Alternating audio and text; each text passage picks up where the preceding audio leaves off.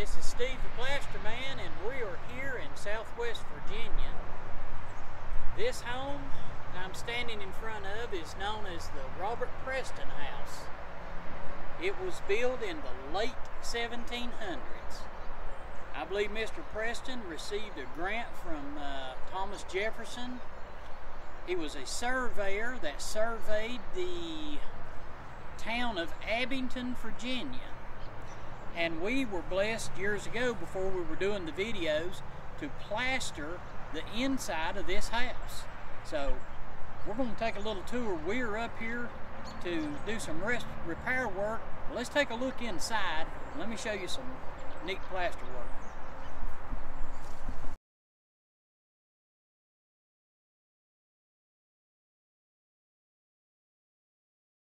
So guys, as we step through these doors here, this, we're walking into 1790s.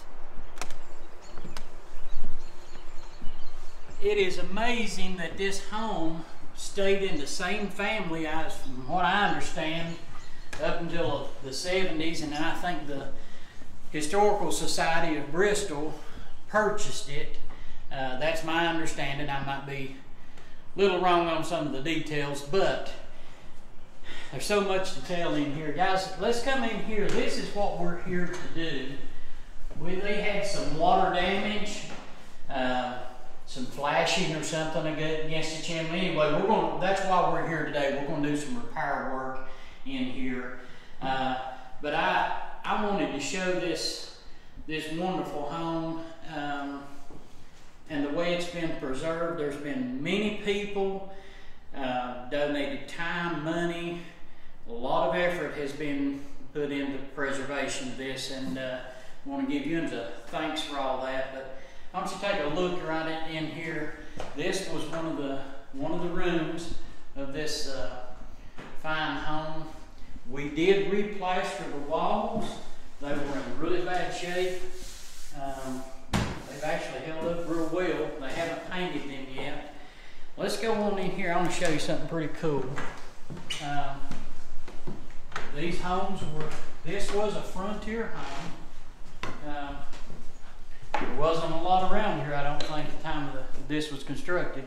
But here's the really cool part. When we plastered this, a lot of the plaster was missing, and we wanted to expose, so they're going to open this to like uh, the public to come through and look. And we want people to understand how this was constructed. This wood here is what we call split lath.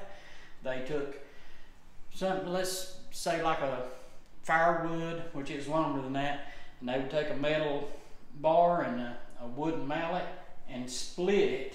You can see how rough it is. These nails are hand forged nails. And we just left this open. They're going to put a little piece of plexiglass so people can appreciate how this was constructed. You can see through how the, on the other side, how the mud went. We call those keys.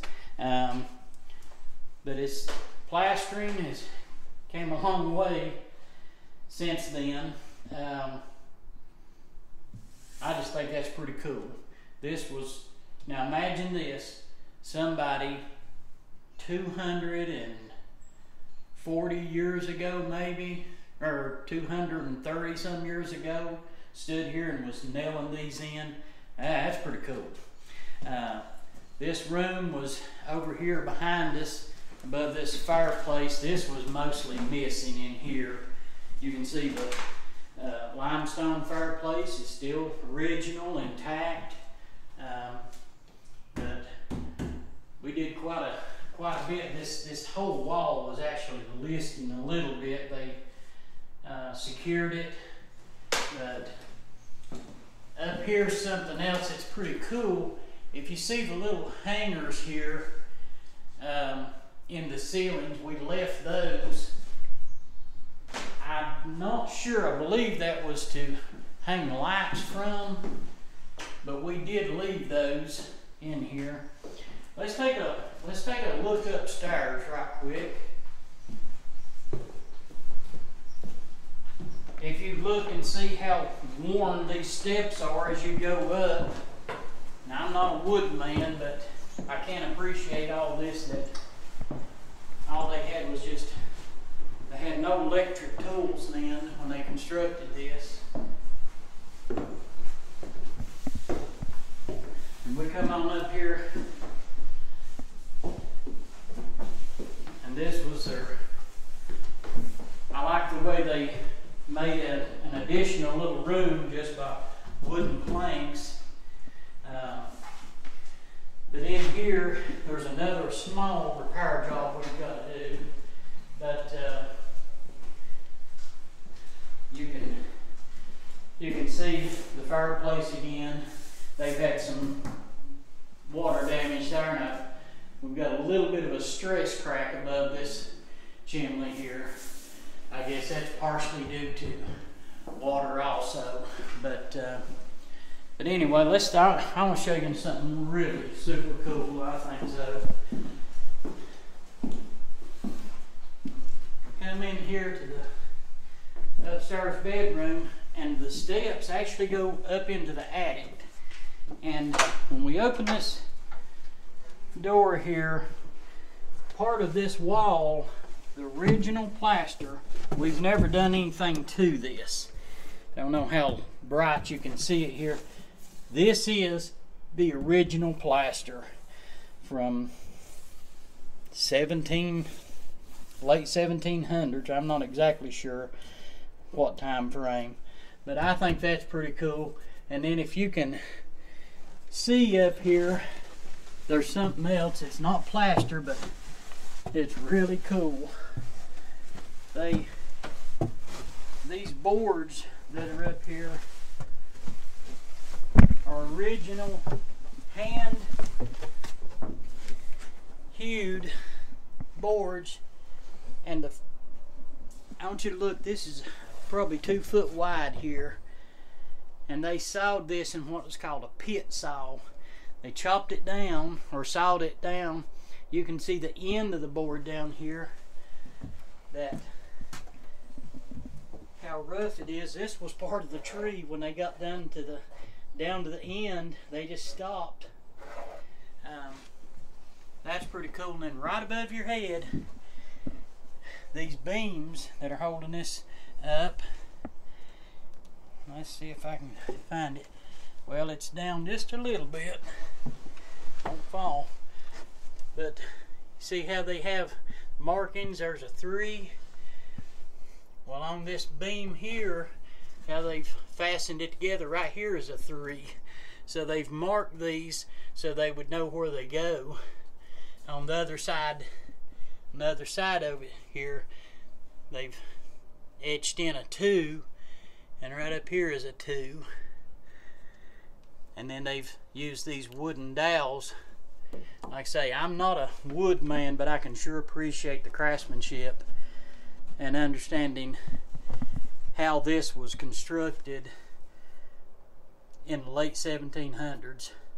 Uh, it's pretty amazing it's stood this long. And once again, appreciation for all the people who have helped to preserve this. I mean, it's just amazing that this is still standing. Let's go on back outside.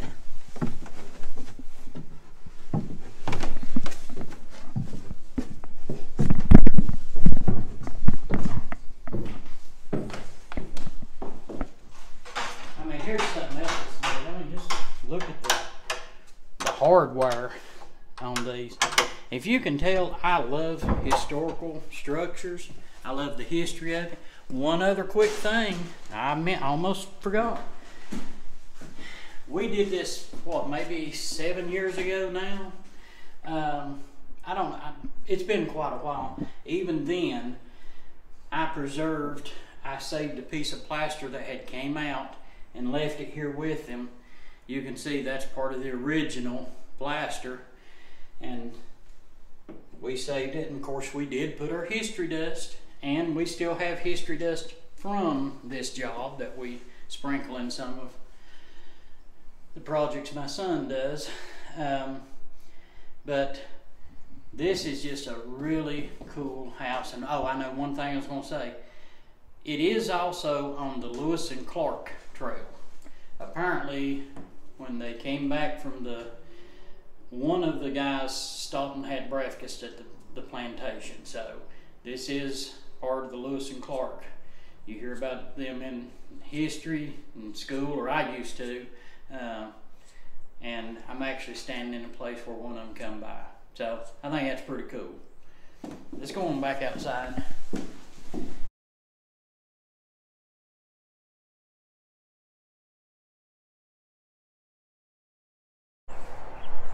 guys, just wrapping up here. I just want you to know this is a pretty cool old home and we want to give a thanks out to all the people who have been instrumental in preserving the time, effort, money. So, once again, this is the Robert Preston home, Southwest Virginia. We did the plaster on it, and I hope you like this little video. If you do, I appreciate if you like it. Maybe subscribe. Steve Plasterman, catch you on next time.